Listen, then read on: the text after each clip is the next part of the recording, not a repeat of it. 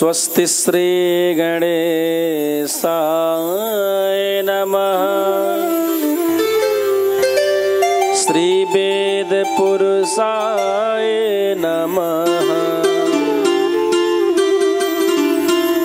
श्रीसद्गुरुचरणकमलेभ्यो नमः।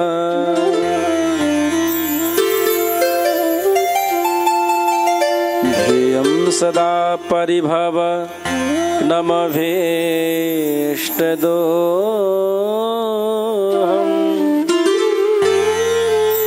तीर्थास्पदं शिवविरिञ्चिनुतं शरण्यम्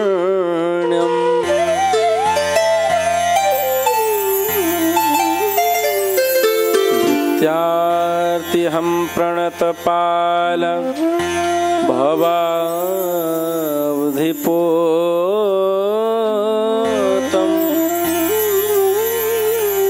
वंदे महापुरुषते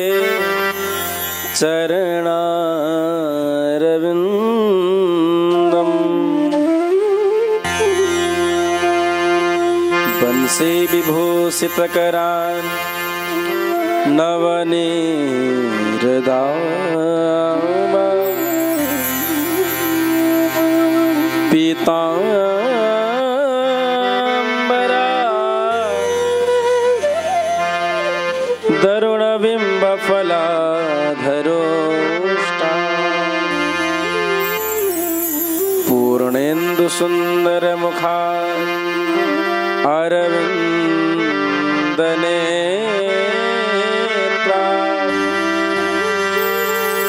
कृष्णात् परं किमपि तत्त्वमहं न जाने।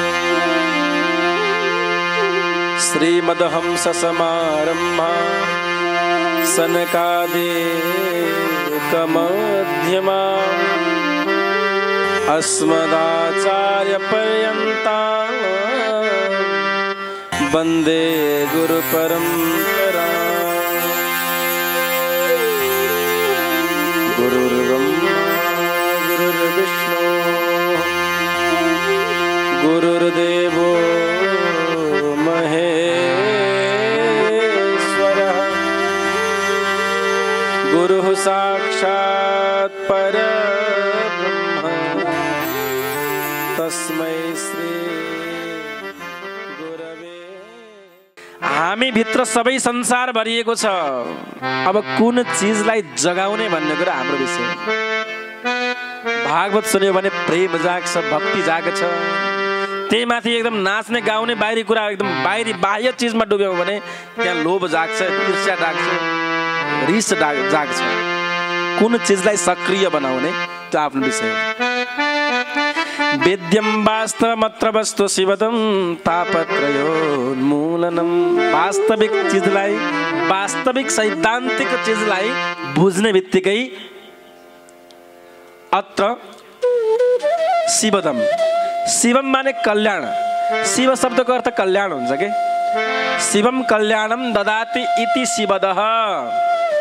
यदि वास्तविक चिजलाई जीवनको सारलाई बुझ्यौँ भने कल्याण हुन्छ। तापत्रयोन्मूलनम र कल्याण कसरी हुन्छ? भने तिनै प्रकारका तापहरू कष्टहरू दुःखहरू सङ्कटहरू समाप्त हुन्छन्। कथा सुनेको फाइदा के हो? ईशानेश्वर भगवान्को चरणमा बसेर कथा श्रवण गर्नुको मूल फाइदा के हो भने तापत्रयोन्मूलनम। हामी दुःखी छौँ तिनवटा कारणले। शास्त्रीय हिसाबले हेर्ने हो भने तिनवटा विषयबाट हामी दुःखी हुन्छौँ। दैहिक दैविक र भौतिक। दैहिक माने शरीरमा आदि व्याधि रोग लाग्यो भने हामी दुःखी भयौँ।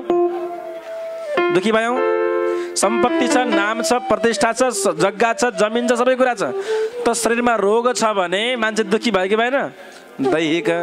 दैविक माने दैविक प्रकोप। जो हाम्रो हातमा छैन। कहिले असिना पर्छ कहिले पानी पर्छ कहिले भूकम्प आउँछ होइन? कहिले हावाहुरीले मान्छे त्यही मर्छन् कहिले दुर्घटना हुन्छ। यो दैविक दैविक प्रकोप हो। दैहिक दैविक र भौतिक। यदि भौतिक सुख सम्पन्नता छैन भने घर छैन जग्गा छैन जमिन छैन खानको लागि रोटी छैन व्यवस्था छैन भने पनि मान्छे दुःखी भयो। हो तिनवटा प्रकारले मान्छे दुःखी हुन्छन्।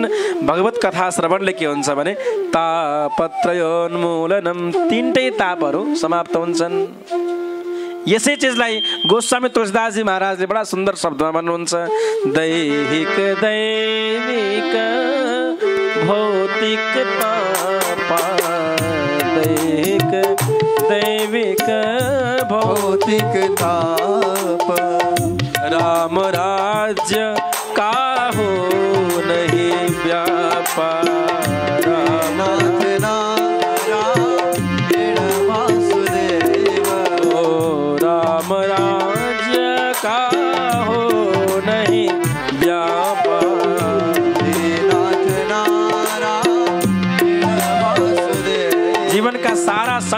कष्टहरू समाप्त हुन्छन्। यदि भगवान्को स्मृति हृदयमा भयो भने भगवान्को प्रेम जाग्यो भने जीवनको सार त्यही हो प्यारे। अरू सबै बेकार हुन्। अरू सबै चिज बेकार छ। भगवान्को भक्ति नै सार चिज हो। यदि भगवान्को भक्ति गरेनौँ भने भगवान्लाई सम्झिएनौँ भने यत्रो पुराण लाग्दाखेरि पनि पुराणमा आएर बसेनौँ भने भगवान्को श्री चरण युगल चरणको मनमा मनलाई चित्तलाई लगाएनौँ भने त्यो जीवन त बेकारै छ। सत्यो हृदयवरुध्यते प्रकृतिभि तत्क्षण सद्य शीघ्र भगवान् हृदयमा आएर बास बस्नुहुन्छ यदि कथा सुन्ने दान गर्ने पुराणमा जाने भाव जाग्ने बित्तिकै भगवान् हृदयमा आएर बन्दी भन्नुहुन्छ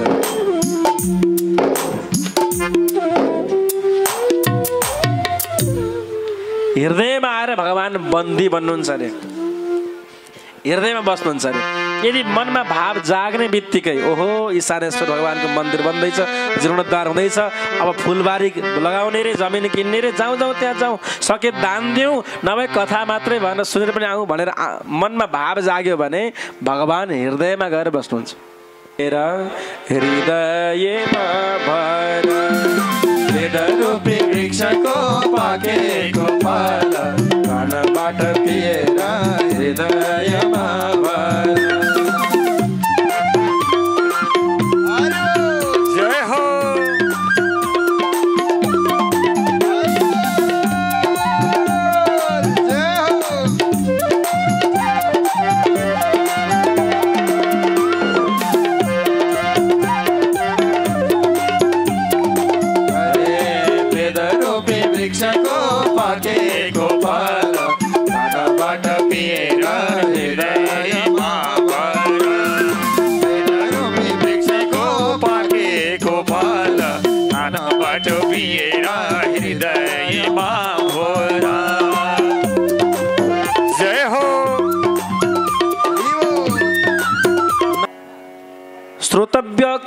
कीर्तितव्य र स्मर्तव्य तिनवटा सूत्रहरू छन् है?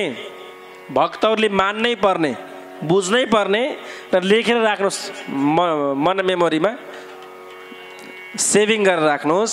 ती तिनवटा कुरा के हुन् भने सुरुमा सुन्ने अनि चिन्तन मनन गर्ने र अनि बल्ल बोल्ने। यी तिनवटा सूत्रहरू बताउनु भयो।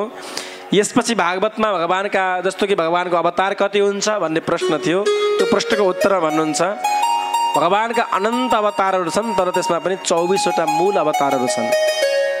चौबिसवटा मूल अवतारको विषयमा श्रवण गराएपछि अन्तिम श्लोकमा भन्नुभयो एते चांस कला पुंस कृष्णस्तु भगवान् स्वयं इन्द्रारि व्याकुलं लोके मृयन्ति युगे युगे। अरू सबै भगवान्का अंशावतार कलावतार लीलावतार हुन्। कृष्णस्तु भगवान् स्वयं। कृष्ण नै पूर्ण ब्रह्म परमात्मा। भागवत भन्छ है। कृष्णस्तु भगवान् स्वयं। अरू सबै लीलावतार कलावतार अंशावतार विभिन्न कार्य सम्वरण गर्नको लागि विध कार्य सिद्धि गर्नको लागि भगवान्ले अवतार लिने गर्नुहुन्छ। अनेकन अवतारहरू छन्। तर कृष्ण अवतार चाहिँ पूर्ण अवतार पूर्ण ब्रह्म परमात्मा स्वयं अवतरित भएर आउनुभएको। बोल कृष्ण कन्हैया लालको कृष्ण मुरारे। कृष्ण मुरारे, सुदर्शन धारे, कृष्ण मुरारे। कृष्ण मुरारे कृष्ण मुरारे, सुदर्शन धारे, कृष्ण मुरारे। कृष्ण मुरारे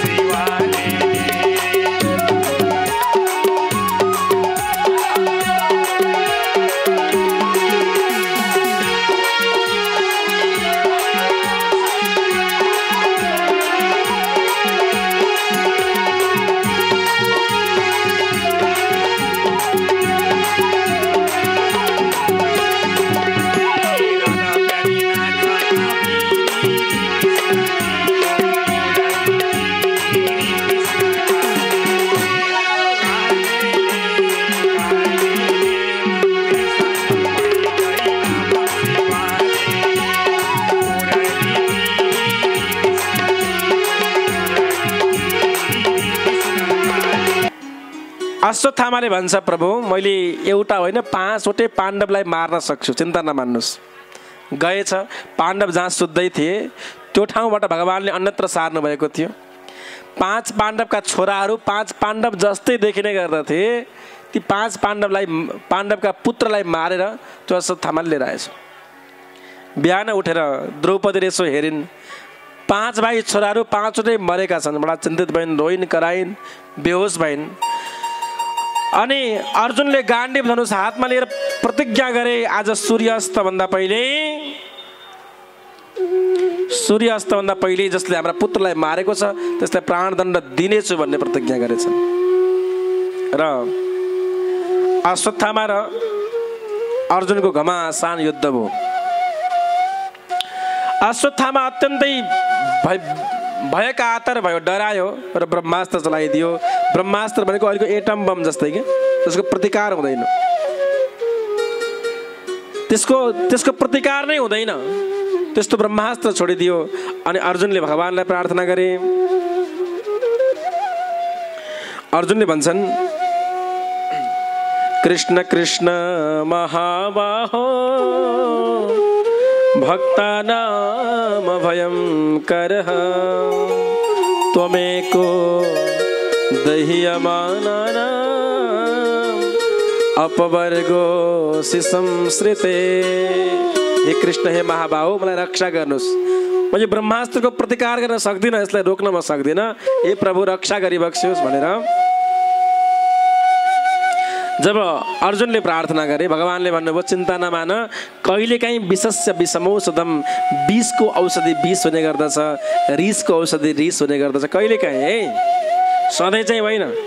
मान्छे अत्याधिक रिसायो भयो दबाएको दबाई गर्ने होच्याएको होच्याइ गर्ने रिसाएको रिसाइ गर्ने गऱ्यो भने उसले प्रतिकारको रूपमा अलिक बढी रिसाइदियो भने त मान्छे कहिलेकाहीँ शान्त हुनसक्छ खुट्टामा बि काँडो बिज्यो भने त्यो काँडोलाई निकाल्नको निमित्त काँडो नै चाहिन्छ। यसै गरिकन यदि अत्याधिक गर्मी भयो भने पहिले पहिले अझ अहिले पनि सायद छ प्रचलन वृद्ध बाबाहरूले। अधिक गर्मी भयो भने के गर्छौँ? चिया खान्छौँ हो। गर्मीले गर्मी काट्छ भन्दै गर्मीमा चिया खाने प्रचलन छ। र विदेशमा मैले देखेको छु जाडोको मौसममा कोल्ड ड्रिङ्क खान्छन् बरफ खान्छन्। बाहिर बरफ परिरहेको छ भित्र चिसो पानी खान्छन्। दङ्ग पऱ्यो किन यस्तो गरेको? भन्दा चिसोले चिसो काट्छ अरे।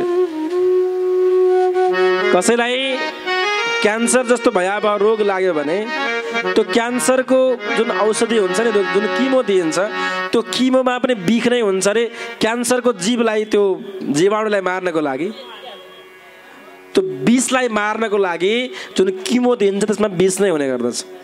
विशस्य विषम औषधम कहिलेकाहीँ विषको औषधि विष नै हुने गर्दछ। सर्पले टोकिहाल्यो भने सिधै अस्पतालमा गइयो भने कुन सर्पले टोकेको हो त्यो पत्ता लगाएर डक्टरले जुन औषधि लगाइदिन्छन् जुन सुई लगाइदिन्छन् त्यो सुईमा पनि बिख नै हुने गर्दछ। बिखले बिखलाई नै मार्ने गर्दछ। भगवान्ले भन्नुभयो उसले ब्रह्मास्त्र छोडिदियो भने तिमीले पनि ब्रह्मास्त्र चलाइदेऊ केही फरक पर्दैन। अब दुईवटा ब्रह्मास्त्र ठोकिए अनि भगवान्ले भन्नुभयो तिमीले ब्रह्मास्त्रलाई आफूतर्फ खिच। दुइटै ब्रह्मास्त्रलाई खिचे अनि अश्वत्थमालाई च्याप्पै समातेर लतार्दै घिसार्दै घिसार्दै घरमा लिएर गए र सबैसँग प्रश्न गर्छन् ल भन कसरी मार्ने? कसैले गाडेर मारिदेऊ भन्छन् कसैले बाघको खोरमा फालिदेऊ र मारिदेऊ भन्छन् कसैले के भन्छन् कसैलाई छोडिदेऊ भन्छन् सबैका आफ्ना आफ्ना मती अनुसार उत्तर दिए अनि द्रौपदीसँग प्रश्न गरियो त्यसका पाँच भाइ छोराहरू मरेका छन्। द्रौपदीसँग प्रश्न गरियो ल भन कसरी मारौँ यसलाई? भन्दा द्रौपदी भन्छन्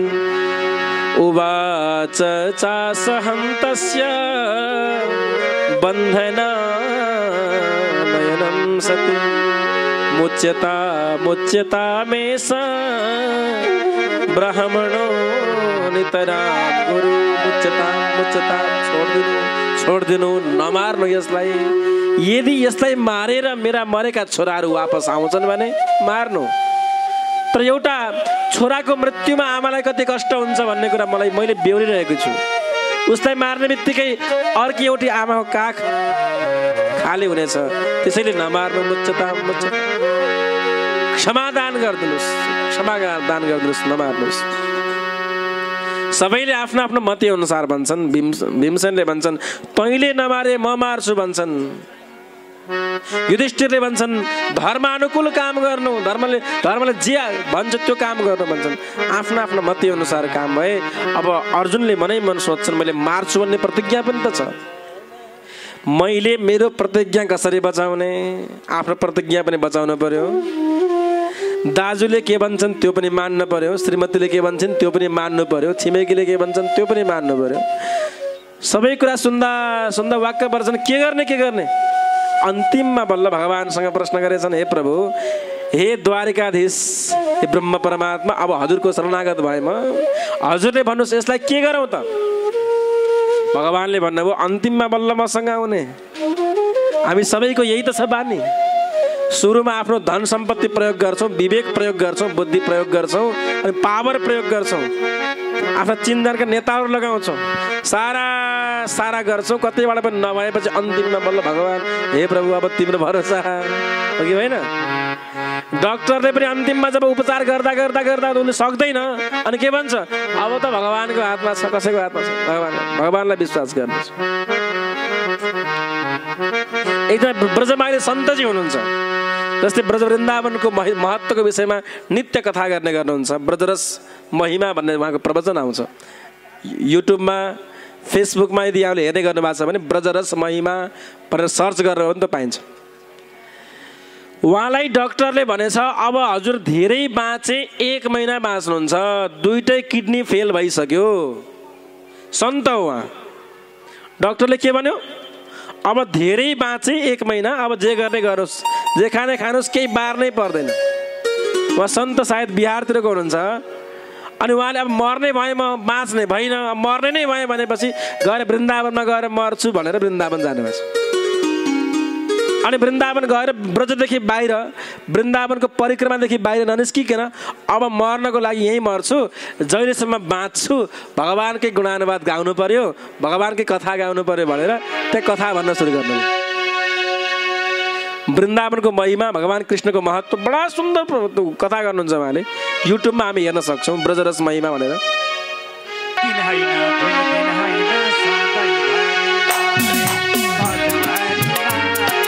भजौँ हरिलाई। एक दिन होइन दुई दिन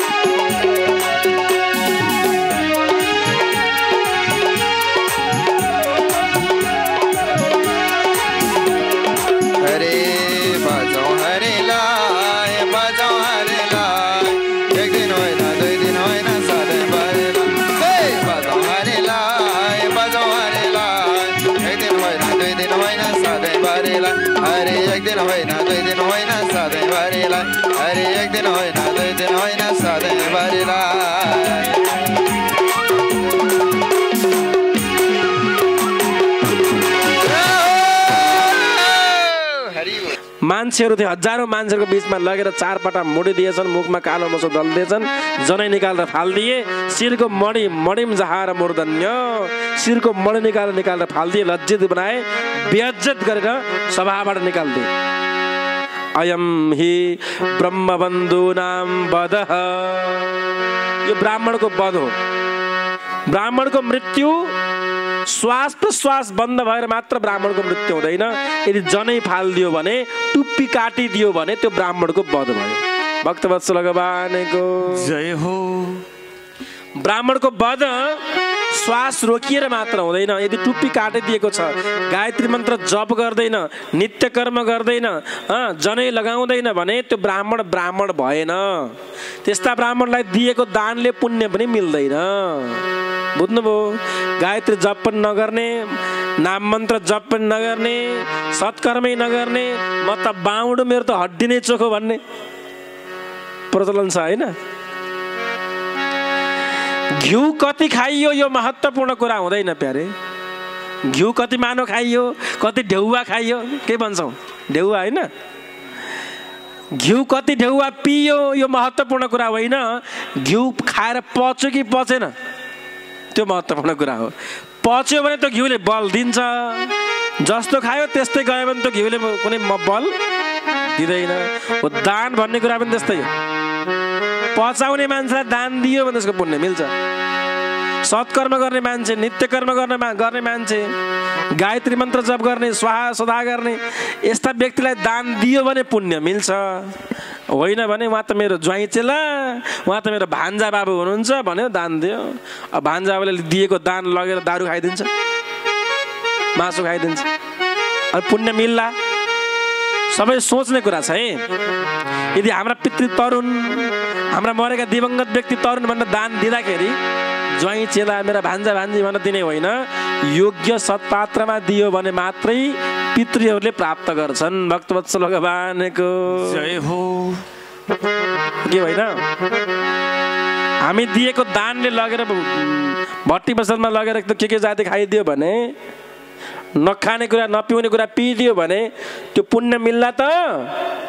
त्यसैले ब्राह्मण त्यो हो जसले नित्य कर्म गर्दछ। वपनं द्रविणादानं स्थानं निर्यापणं यथा। एषहि ब्रह्मबन्धो न बधो नान्यो स्थितैका यो ब्राह्मणको वध हो। जनै टुप्पी फालेपछि ब्राह्मणको वध भयो। यसरी अर्जुनले भगवान्को वचनलाई पूर्ण गरे ब्राह्मणलाई मारे पनि जिउँदै छोडे पनि एउटै मान्छे मर्यो पनि जिउँदै रह्यो पनि दुइटै कुरा यहाँ पुरा भयो। भक्त भगवानको। जय हो। यसपछि गएर भगवान् द्वारिका जानको निमित्त तयार हुनुभएको थियो। अश्वत्थामा अत्यन्त कुपित भयो र प्रतिशोधपूर्ण पुनः ब्रह्मास्त्र छोडिदियो। ब्रह्मास्त्र चलाइदियो र पाण्डवको वंशलाई समाप्त पारिदिन्छु भनेर गर्भिणी उत्तराको गर्भ नष्ट गर्नको लागि ब्रह्मास्त्र चलाइदियो किनभने पाण्डवको वंश रक्षा गर्ने अब एउटा मात्र छ। त्यो को छ भने गर्भमा बच्चा छ उत्तरा गर्भिणी छन्। पानी बसाइदेऊ न। ईशानेश्वरमा आउँछौ प्रभु। आउँछौ प्रभु। बाटो देखाइदेऊ न। कहिले होला सवारी शिव जटाधारी कहिले होला सवारी शिव जटाधारी कहिले होला सवारी।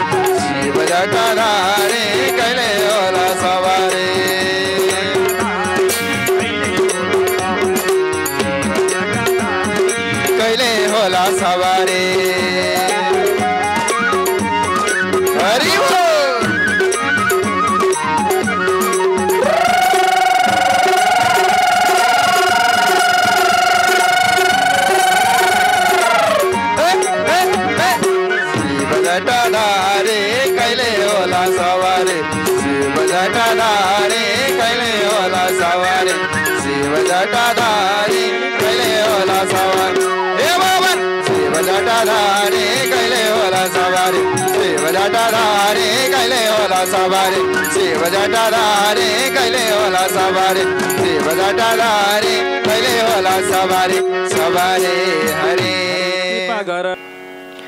अर्जुनले सोधेछन् पितामहजी विवाह त गर्नु भएन जीवनमा कहिले पनि। ब्रह्मचारी बन्नुभयो। विवाह नगरिकन छोरी कहाँबाट आइन् पितामा भन्छन् चुप तिमी चुप लाएर बस कृष्णलाई थाहा छ। सबै कुरा। हे प्रभु मेरी एउटी छोरी छन्। अब मर्ने बेलामा त्यो छोरीको विवाह हजुरसँग गरिदिन चाहन्छु। भगवान्ले भन्नुभयो भो मलाई नगर्ने विवाह। मान्छेले छोरी मात्रै होइन छोरीको साथ साथमा दाइजो पनि दिन्छन्। त्यसैले म त दाइजो युक्त विवाह गर्न इच्छा छैन मलाई। पितामा भन्नुहुन्छ कुनै दाइजो छैन हजुर। एकदम छोरी मात्रै।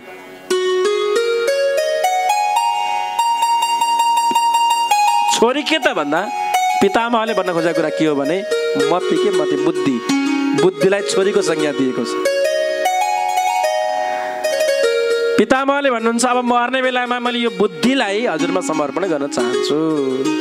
भगवान्ले भन्नुभयो त्यो बुद्धि मतिको साथसाथमा धेरै काम विषय वासनाहरू जो दाइजोको रूपमा बुद्धि त मान्छेले लगाउँछ अर्पण त गर्छ प्रभु तत्सत श्री कृष्ण अर्पण वस्तु भनेर समर्पित त हुन्छ साथसाथमा लोभ पनि आ हुन्छ ल- काम पनि आ हुन्छ विष- विषय वासना पनि आइरहेको हुन्छ म त्यो लिन चाहन्न पितामहले भन्नुहुन्छ वितृष्णाह विगताह तृष्णाह अब यो मनमा कुनै तृष्णा छैन कुनै आशा छैन कुनै आकाङ्क्षा छैन।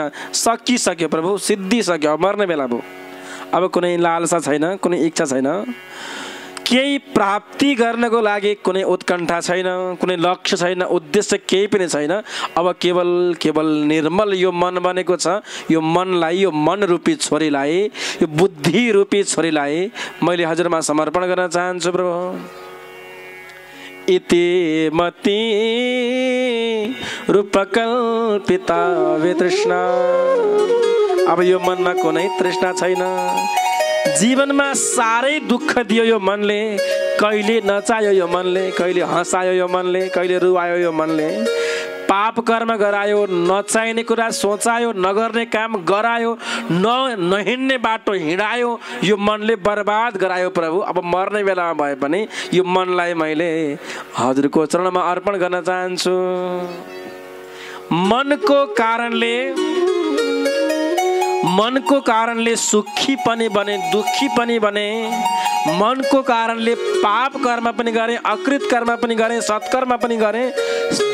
जे जे भयो सो भयो प्रभु। अब मर्ने बेलामा भए पनि यो मन तिमीमा समर्पण गर्न चाहन्छु।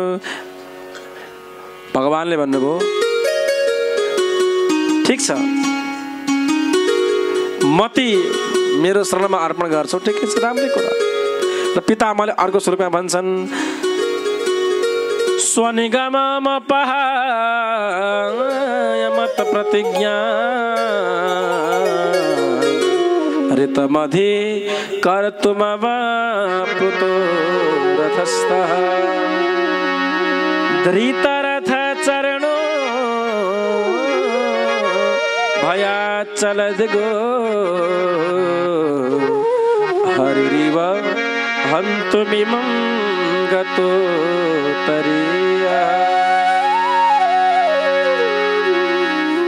हे प्रभु मलाई त्यो दृश्य याद आइरहेको छ। युद्धको समयमा हजुरले पाण्डवहरूलाई क्या सुन्दर उपदेश दिनुभएको थियो। म प्रतिपक्षमा विपक्षमा बसेर हजुरको साथमा युद्ध गरिरहेको थिएँ। म पाण्डवको विरोधी थिएँ किनभने प्रभु हजुरको साथ साथमा युद्ध गरेको भए सायद हजुरको दर्शन प्राप्त हुँदैन थियो।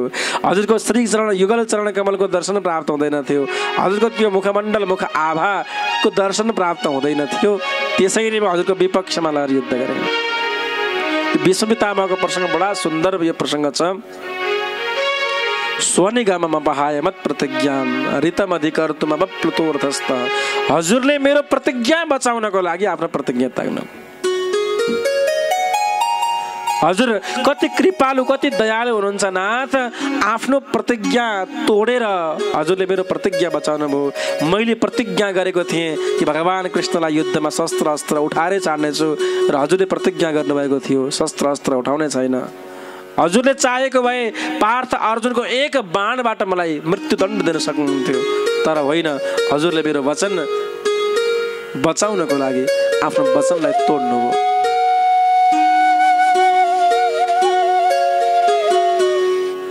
प्रबल प्रेम के पाले पड़कर प्रभु को नियम बदलते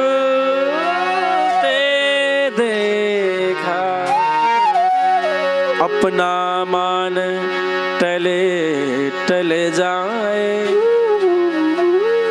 भक्त का मान टलते देखा। जिनकी केवल कृपा दृष्टि से सकल सृष्टि को पलते देखा। उनको गोकुल के गोरस पर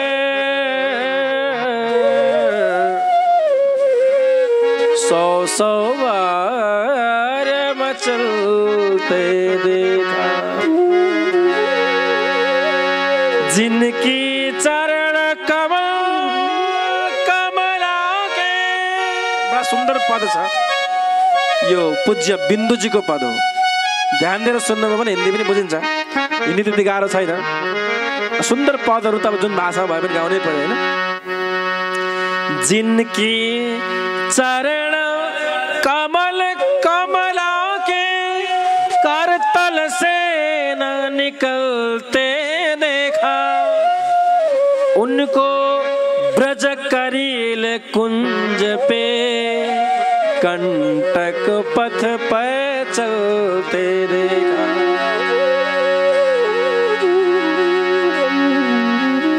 जिनकी बंक भ्रिकुटी के भय से सप्त समंदर उबलते देखा, उनको ही यशोदा के भय से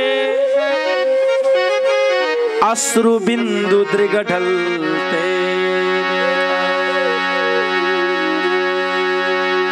भगवान्ले आफ्ना भक्तको मान मर्यादा बचाउनको लागि कहिले दास बन्नुहुन्छ कहिले सारथी बन्नुहुन्छ कहिले साडी बन्नुहुन्छ होइन? भक्तको इज्जत बचाउनको लागि भगवान् कहिले साडी बन्नुहुन्छ कहिले सारथी बन्नुहुन्छ।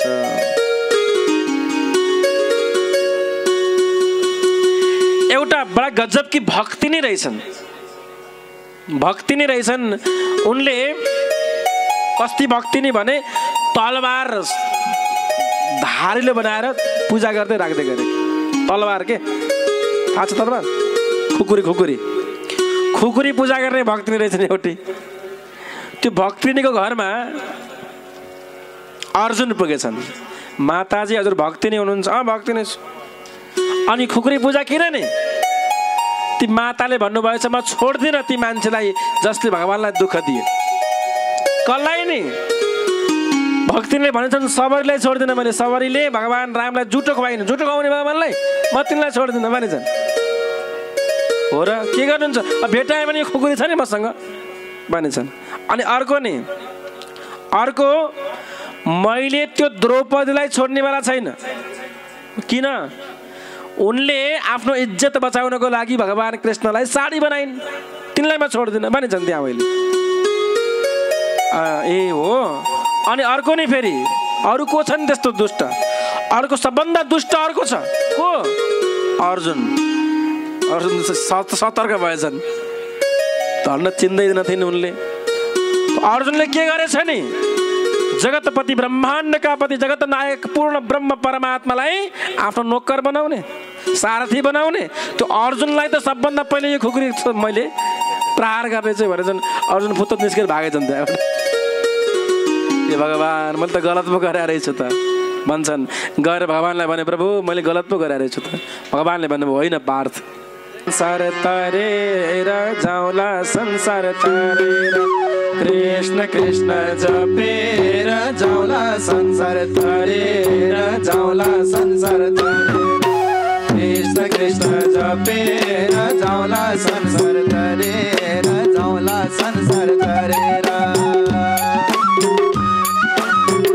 सबैले हात माथि गरौँ हात माथि हात माथि र जुत्ता खोल्नु है जुत्ता। जुत्ता मञ्चमा लाउनु हुँदैन। जुत्ता तल खोल्नु मञ्चमा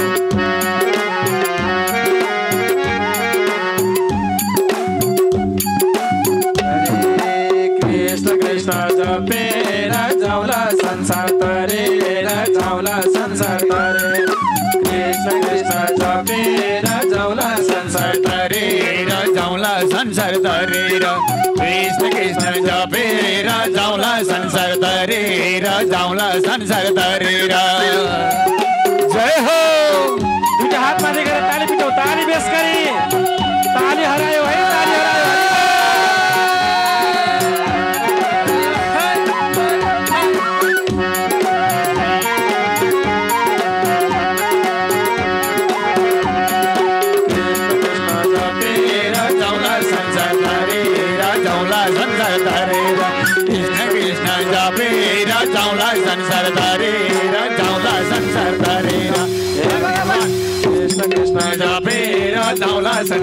तरेर जाउँला संसार तरेर कृष्ण कृष्ण जपेर जाउँला संसार तरेर जाउँला संसार तरेर कृष्ण कृष्ण जपेर जाउँला संसार तरेर जाउँला संसार तरेर तरेर हरे अझै गाँठो फुटेको छैन। भन्नु के छ? हेर हरे हर आफ्नो भन्नु के छ सबै नाच सब नाच दुईटा हात माथि गरेर दुईटा हात माथि आफ्नो भन्ने खोजेर आफ्नो भन्नु खोजेर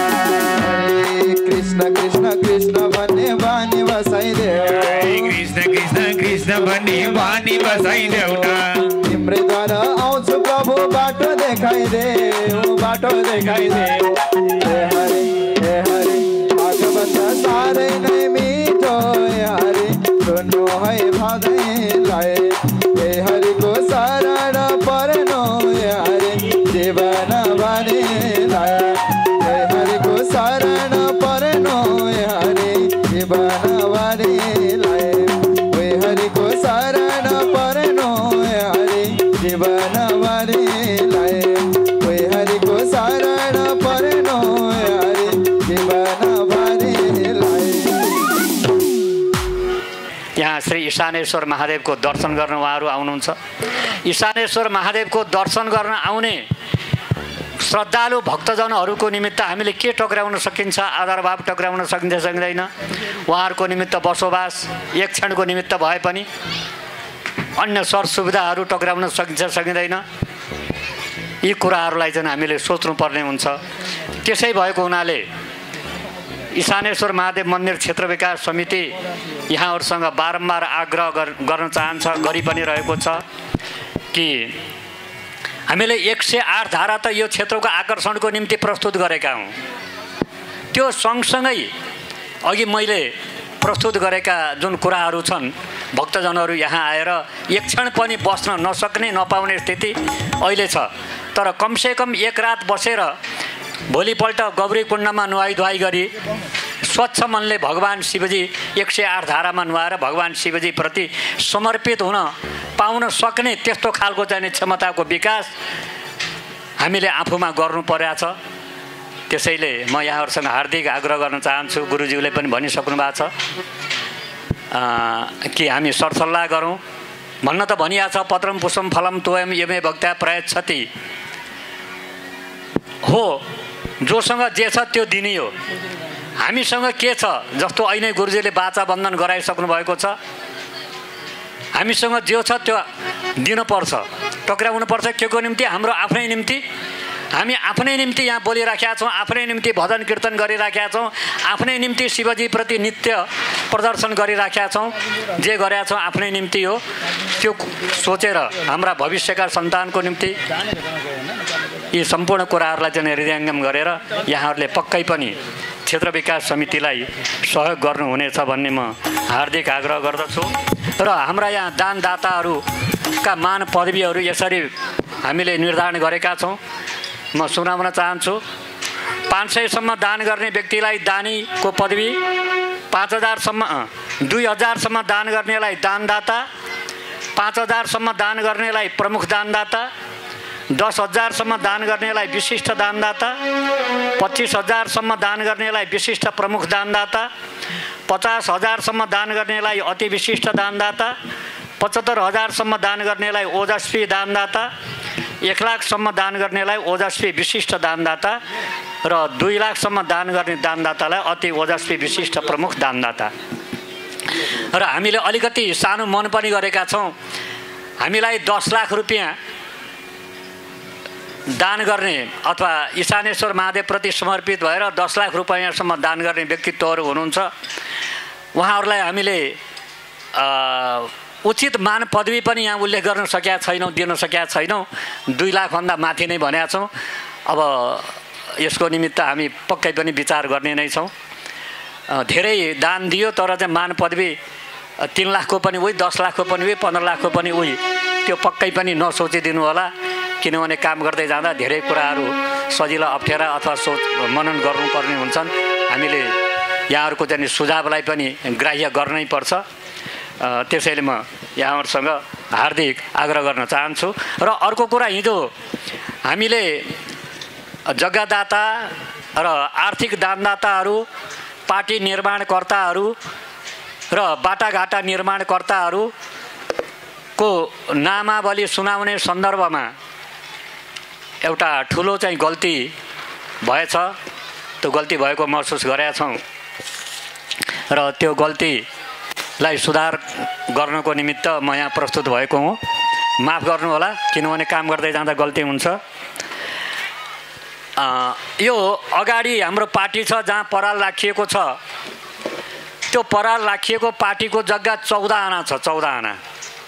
सबभन्दा पहिले त्यो चौध आना जग्गा इशानेश्वर महादेवलाई समर्पण गर्ने व्यक्तित्व स्वर्गीय मिन कुमारी स्वर्गीय जानकी दत्त घिमिरेका सन्तानहरू मध्ये जो आज यहाँ उद्घोषक हुनुहुन्छ श्री युवराज घिमिरे उहाँकै पहलमा ध्रुवराज घिमिरे उहाँको भाइ उहाँको चाहिँ पहलमा राजन घिमिरे उहाँको चाहिँ पहलमा हरि घिमिरे नारायण घिमिरे सबैको चाहिँ पहलमा यहाँ आमाहरू पनि आज कथा श्रवण गर्न आउनुभएको छ। सबैको नामभन्दा अलि समय लाग्ने भएको हुनाले मुख्य मान्छेको मात्रै नाम उच्चारण गरौँ भनेर हिजो भन्दा सन्तुमाया पाध्याय भएछ। तर नाम रहेछ मिन कुमारी। घिमिरे र उहाँको स्वर्गीय श्रीमान जानकी दत्त घिमिरे। कलियुगमा जन्मिन पाउनु नै भाग्यमानी हो कि होइन? दुइटा हात माथि गर्नुहोस्। दुइटा हात माथि गर्नुहोस्। भने गरौँ न ध्यान अन्तै गयो कि त्यही भएर। दुइटा हात माथि गर्नुहोस्। ताली पिट्नु हाँस्नुहोस्। ताली बजाएर हाँस्नुहोस्। आज बोल्न पनि गाह्रो भइरहेछ मलाई। एकादशी भएर पनि होला सायद। त्यसैले कलियुग अत्यन्त महत्त्वपूर्ण युग हो। भगवानको नाम जप गरौँ प्यारे भगवानको मन्त्र भगवानको स्मृति गरौँ। यसपछि परीक्षितको दिग्भ्रमण। सम्यक ऋषिको आश्रममा पुगे। जलयाचन गरे। सम्यक ऋषि समाधिस्थ हुनुहुन्थ्यो। प्रत्युत्तर नपाएपछि मृत सर्प बेरिदिए र त्यहाँबाट गए। समीक पुत्र श्रृङ्गी कौशिकी नदीमा स्नान गर्दै थिए। कौशिकी नदीको जल उठाएर श्राप दिए। कौशिक्याप उपस्पृश्य बागवज्रम विसर्ज जुन राजाले मेरो पिताजीको गलामा सर्प बेरिदिएका छन् ती राजाको मृत्यु तक्षक नागले नै डसेर आजको सात दिनमा हो। भनेर श्राप दिनुभयो राजा परीक्षितलाई जब यो कुरा थाहा भयो तत्काल घरद्वार त्यागेर गङ्गाजीको तटमा आउनुभयो अब त्यहाँबाट बल्ल भागवतको मूल भागवत प्रारम्भ हुन्छ। अनेकन सन्त महात्माहरूसँग भेट भयो। सबैसँग प्रश्न गर्नुहुन्छ कसरी मुक्ति मिल्ला मात्र साथ दिन्छ? केही समयपछि सुखदेवजी महाराजको आगमन भयो। सबै सन्तहरूले भन्छन् यी सुखदेवजी महाराजको चरण समात्नु मुक्ति करतले मुक्ति करतले स्थित। तर यिनको स्वभाव कस्तो छ भने पाँच मिनटभन्दा छ मिनट कहीँ पनि बस्दैनन्। च्याप्पै चरण समाते र दुईटा प्रश्न गरे परीक्षित सुखदेवजीसँग ध्यान दिएर सुन्नुहोस् है। सुखदेव केवल पाँच मिनट एक ठाउँमा बस्थे। सगोदो हनमात्रम भागवतमा लेखा छ गृहेषु गृहमेधिनाम अवेक्षते महाराजस तीर्थी कुर्वम तदाश्रमम। केवल पाँच मिनट बस्थे। अनि सात दिन किन बसे नि? एक ठाउँमा कथा भन्नको लागि। किन बसे भने परीक्षितको प्रश्नमा त्यो ताकत थियो। सुखदेवजीको नियम भङ्ग भयो। एक ठाउँमा बसेर सात दिनसम्म कथा सुनाए। परीक्षितको प्रश्न यति उच्च कोटिको थियो। त्यसको उत्तर दिनको लागि सात दिन लाग्यो। भक्तवत्सल भगवानको। जय हो। ईशानेश्वर महादेवको। जय जय हो। त्यस्तो प्रश्न के गरे त? त्यो दुईटा प्रश्न के हुन्? ध्यान दिएर सुन्नुहोस् है। हामी भागवत धेरै पटक सुन्छौँ तर सुन्छौँ मात्रै। सुन्छौँ मात्रै। जाने बेलामा पराल लाग्यो होला धुलो लाग्यो होला भनेर यस्तो टाउटो गाउँछौँ नि हामीले। त्यो टाउटो गाउँदाखेरि भागवत पनि यहीँ झर्छ। जहाँ सुन्यो त्यहीँ झर्छ। ए धुलो लागेछ भने यसो चाहिँ गर्यो। गर्दा गर्दै तेरा तुझको अर्पण प्रभुको प्रभुमै समर्पण होइन? आरती। अन्तिम आरती गर्दा कथावाचक जीको कथावाचक जीमै समर्पण। कथा समर्पण गरे गयो। नत्र भने कहाँ यस्तो गति हुन्थ्यो र? ध्यान दिएर सुन्नुहोस्। परीक्षितले के प्रश्न गरे? जसले गर्दा भागवत सुन्न पाएका छौँ हामीले। पुरा भागवतै रचना भयो परीक्षितले प्रश्न नगर्दा हुन् त भागवत नबन्द हो हामी सुन्न पाउँथेनौँ। दुईटा प्रश्न के हुन्? ध्यान दिएर सुन्नुहोस् है। अतः पृच्छामि संसिद्धिं। योगिनां पुरुषं परमं गुरुं। पुरुषस्ये हयत् कार्यं म्रियमाणस्य सर्वथा। दुईटा प्रश्न। के हो भने मृत्युको मुखमा पुगेको मान्छेले के गर्नु पर्छ पहिलो प्रश्न। जसलाई मर्नु मृत्यु थाहा भइसक्यो त्यसले के गर्नुपर्छ? र अर्को प्रश्न हो र के गर्न हुँदैन? यति प्रश्न। के गर्न हुन्छ के गर्न हुँदैन? यति दुईटा प्रश्नको उत्तर भागवत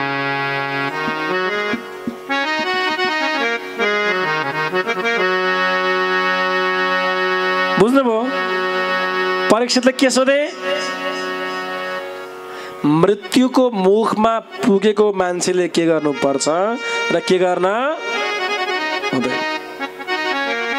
मृत्युको मुखमा को को पुगेका छौँ? म त अस्सी वर्ष कि भएँ म त पुगेँ होला। म त बल्ल बिस बाइस वर्षको छु। कहाँ पुगेँ म त? होइन हामी सबै मृत्युकै मुखमा छौँ। कतिखेर मर्छौँ थाहा छ। थाहा छ? कहाँ मरिन्छ थाहा छ? के बार मरिन्छ थाहा छ? कति गते मरिन्छ थाहा छ? थाहा नभएकै राम्रो। थाहा भयो भने हट्याक भएर मरिन्छ। पहिले मरिन्छ। प्रकृतिले यस्तो नियम बनाइदियो कि थाहा नहोस्। जन्मिएको दिन सबैलाई थाहा छ। हो? आइतबार जन्मेकाले हातमाथि गर्नुहोस् त। आइतबार जन्मिएकाले हातमाथि गर्नुहोस्। सोमबार मङ्गलबार बुधबार बिहिबार शुक्रबार शनिबार। रहेछ नै रहेछ ल शनिबार। म पनि शनिबार। ल। अब आइतबार मर्न मर्छु म त भन्नेले हातमाथि गर्नुहोस्। आमाले आमाले गर्नुभयो म त सोमबारै मर्ने हो भन्नेले हातमाथि गर्नुहोस्। सोमबार मर्ने हो? भनेर पाइन्छ नि त्यहाँ त। ए आमै त म त सोमबार मर्ने भन्दै हुनुहुन्छ। जन्मिएको तिथिमिति थाहा छ तर मृत्युको तिथिमिति कसैलाई पनि थाहा छैन। तर पक्का हो यो सात दिनभित्रै हामी मर्छौँ। परीक्षितलाई पनि सात दिनमै मर्ने श्राप लागेको थियो। हामी पनि सात दिनमै मर्छौँ।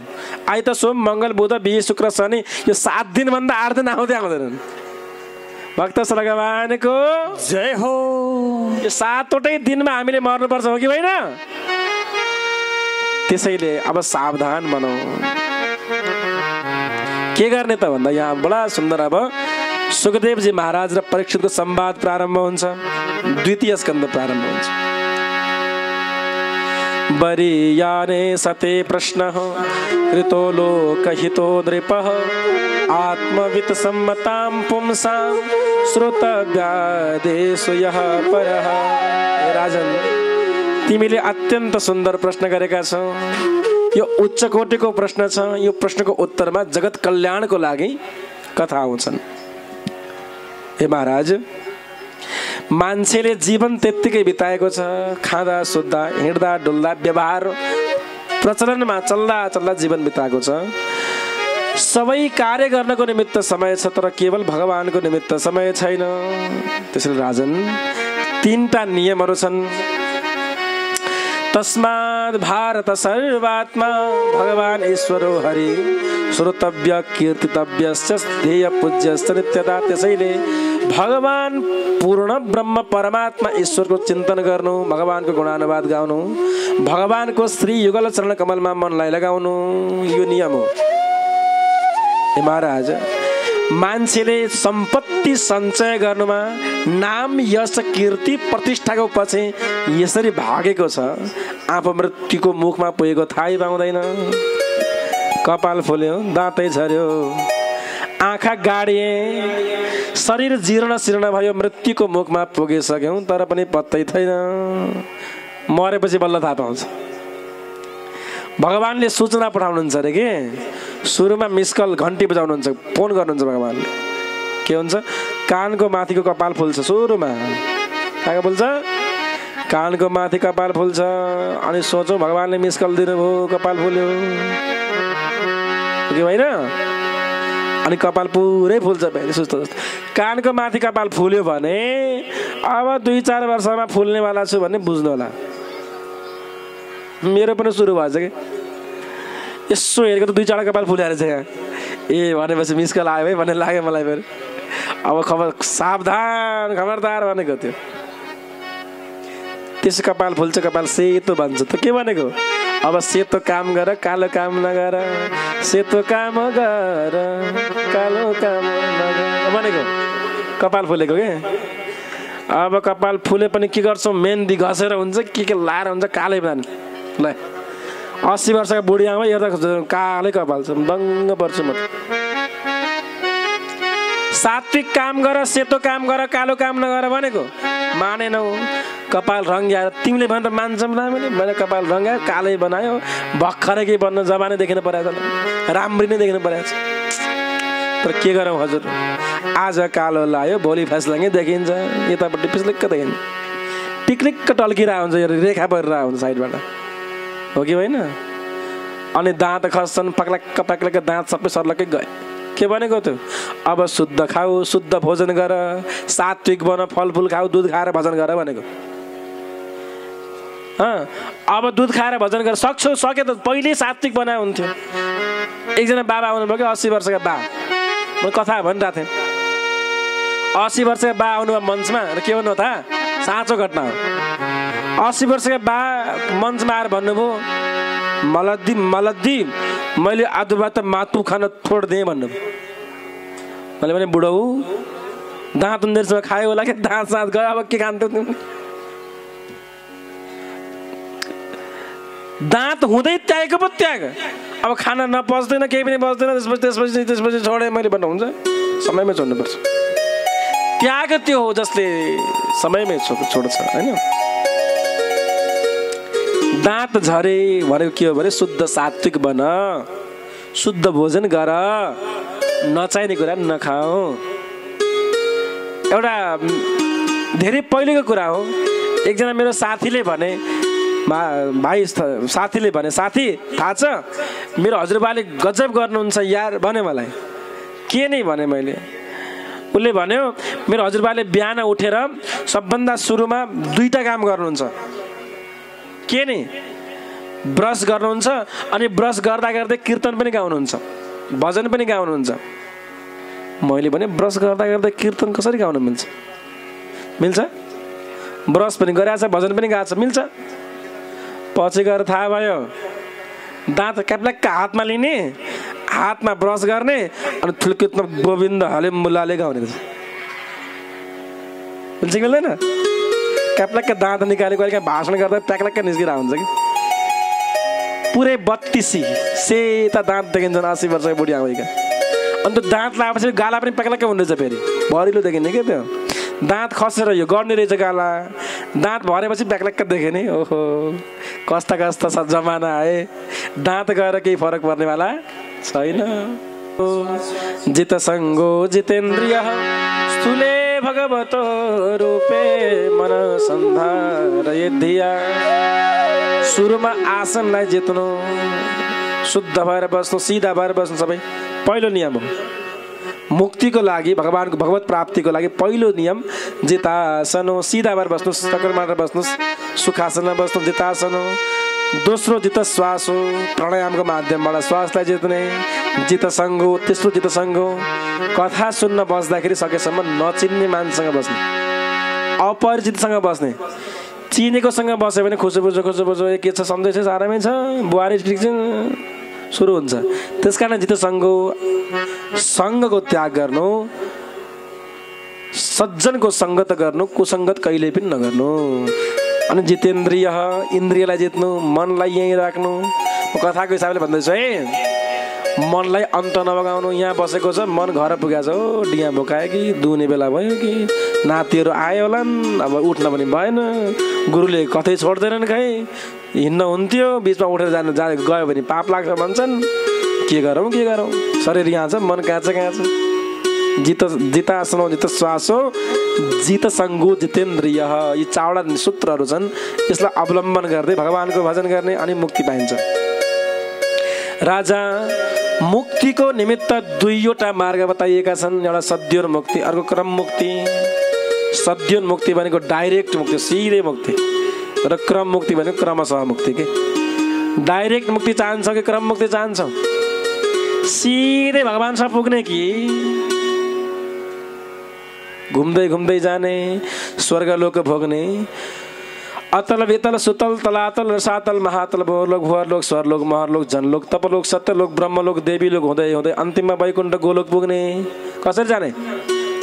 सिधै जाने हो भने भक्ति मार्ग भगवान्को भजन गर्नु भगवान्को युगल चरण कमलमा चित्तलाई लगाउनु भगवान्को मन्त्र जप गर्नु भगवान्मा पूर्ण आस्था निष्ठा चेष्टा र पूर्ण विश्वास भगवान्मा गर्नु यो सद्यन मुक्तिको लक्ष्य र क्रम मुक्ति भनेको भूत पिचासलाई मान्ने विभिन्न विभिन्न देवताहरूलाई मान्ने अनि त्यसपछि त्यो विविध भोगहरू भोग्दै पितृलोक हुँदै अनि त्यसपछि स्वर्गलोक हुँदै स्वर्गलोक त सामान्य कुरा हो। हुँदै अन्तिममा भगवान्मा पुग्नु यो क्रम मुक्ति हो। सद्योन्मुक्ति क्रम मुक्ति राजा दुई पथ दुईटा बाटा के? सत्योन्मुक्ति र क्रम मुक्ति सिधै मुक्ति हुने हो भने सिधै भगवान्सँग सम्बन्ध जोड्नु पऱ्यो भगवान्को बन्नु पऱ्यो कि? भगवान्को बन्यो भने सिधै भगवान्सँग पुगिन्छ। सद्योन्मुक्ति क्रम मुक्ति राजा दुई पथ त्यही बाटोमा हिँड्छ मान्छे जसको जस्तो मत। सद्योन्मुक्ति क्रम मुक्ति राजा दुई पद। त्यही बाटोमा हिँड्छ मान्छे जस्तो जस्तो राजा सत्तर मुक्ति क्रम मुक्ति राजा दुई पद। उही बाटोमा हिँड्छ व्यक्ति जस्तो जस्तो राजा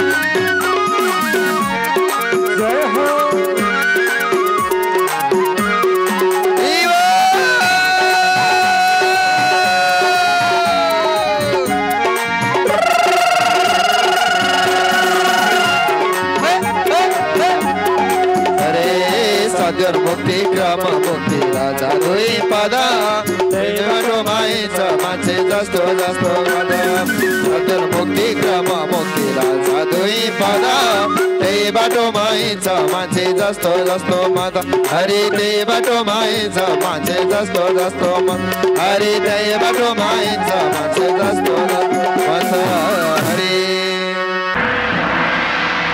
हे ब्रह्मदेव मेरी। यति सुन्दरी पृथ्वीलाई मेरो दुश्मन विष्णुदेवको तपस्या गरेर यति विशाल पृथ्वीलाई मेरा दुश्मनहरूको भक्तहरूको सृष्टि गरेर यसमा आफ्नो आधिपत्य जमाउनको लागि। सम्पूर्ण देवताहरूको नामहरूको जय जयकार गर्नको लागि? यसमा तैले सृष्टि बचाल्दैछस्। ब्रह्मदेवको सृष्टि भई तपस्या गरे थे। विष्णु भी त्यही थियो, शिव पनि त्यही थियो। यो पृथ्वीमाथि ब्रह्मदेवले मेरो दुश्मनहरूको भक्तहरूको सृष्टि गरेर दैत्य विरुद्धको शासन अनुशासन। वाह पृथ्वी।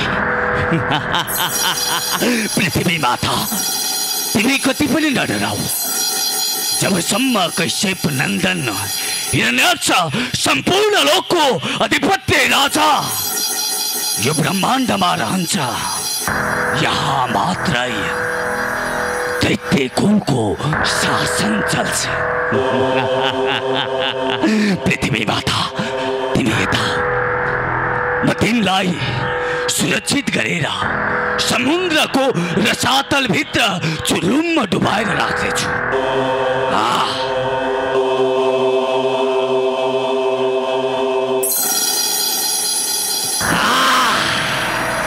आह, जाऊ पृथ्वी तिमी समुद्र को रसातल रसातलभित्र अब यहाँ स्वर्ग मर्त्य पातल सम्पूर्ण लोकमा एक क्षत्रिय राज्य गर्ने मात्र हिरण्याक्षको साहस हुनेछ यदि कोही हिरण्याक्षको नियम विरुद्ध शासन विरुद्ध कुनै नकारात्मक कार्य गर्छ भनेदेखि म त्यसलाई कदापि बचाउने छैन।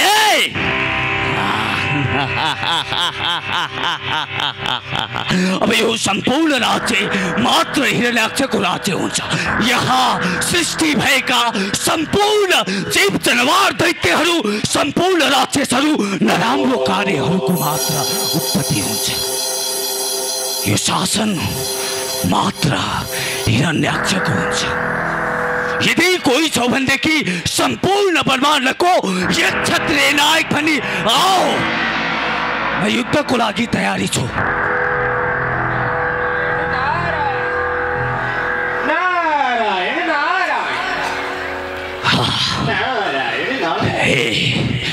नारायणको नाम कहाँदेखि जपिरहेको छ कोही छ मसँग युद्ध गर्ने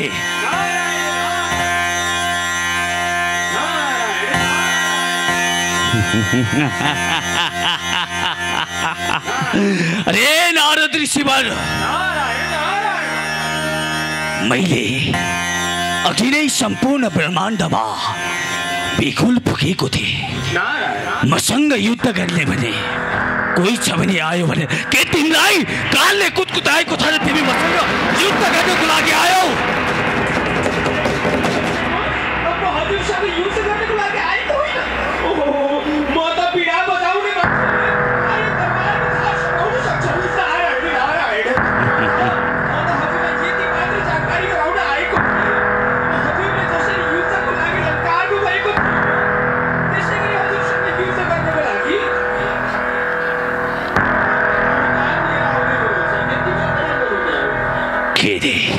हजुर हजुरसँग युद्ध गर्न सक्ने महापुरुष मैले देखेको छु। नारद ऋषिवर न कुनै ब्रह्माण्डमा म हिरण्याक्षसँग बराबरी गर्ने कुनै प्राणीको जन्म भएको छ। न भूतो न भविष्य हो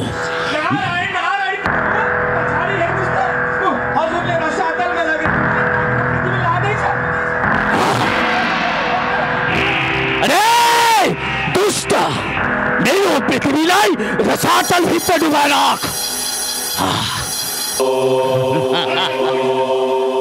यो पृथ्वी रसातल होइन यो पृथ्वीको स्थान जहाँ हो हो त्यहाँ ए, गलत गर्दैछ। गलत गर्दैछ।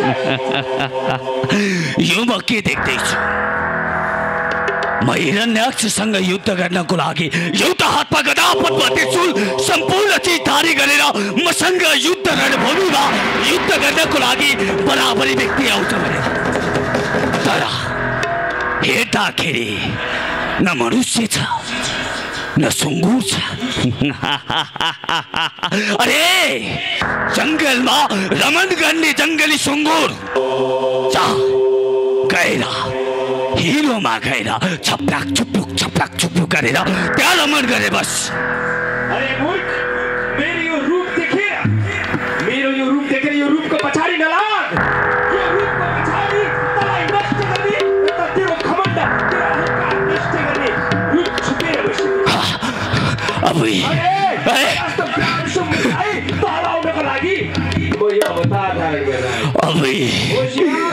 मलाई डर लाग्यो मेरो खुट्टा लिक लिक लिक लिक लिक लिक लिक लिक लिक लिक लिक काम्यो भन्ने तैँले ठानेको होलास् हे जङ्गली सुँगुर यो सम्पूर्ण राज्य जति देखेको छस् नि सम्पूर्ण लोक जति देखेको छस् स्वर्ग पनि तिमीहरूको राज्य सम्पूर्ण पृथ्वी पनि तिमीहरूको राज्य सम्पूर्ण राम्रो चिजहरू तिमीहरूको राज्य अनि हामी दैत्य कुलका दानवहरू कि मात्र नरक मावत्रे बचते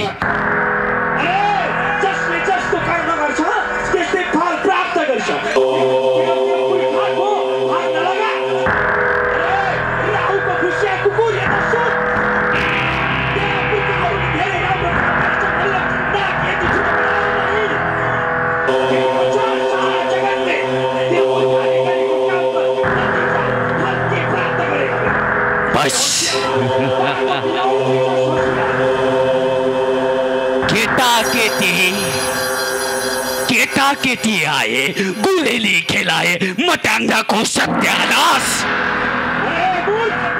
मलाई केटाकेटी सम्झेर भ्रममा नपर म र सत्यानाश गर्ने केटाकेटी होइन!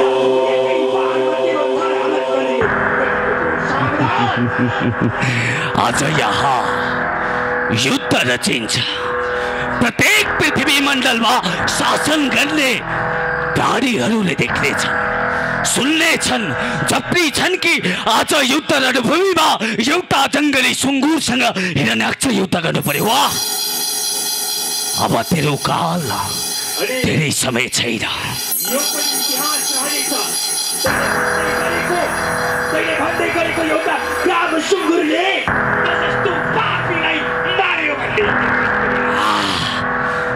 त मसँग झोली खोज्दैछ हिरण्याक्षसँग लेउ खोज्दैछ। अब यसको सजायको भागीदार अवश्य हुनेछस्। मर्नको लागि तयार भएर बस। अरे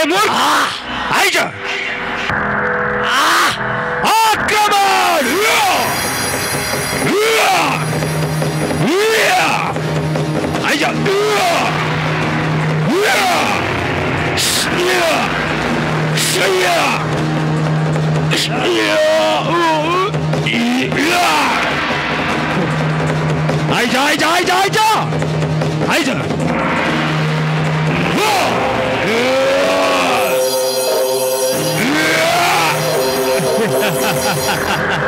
Hello, boy. I jump.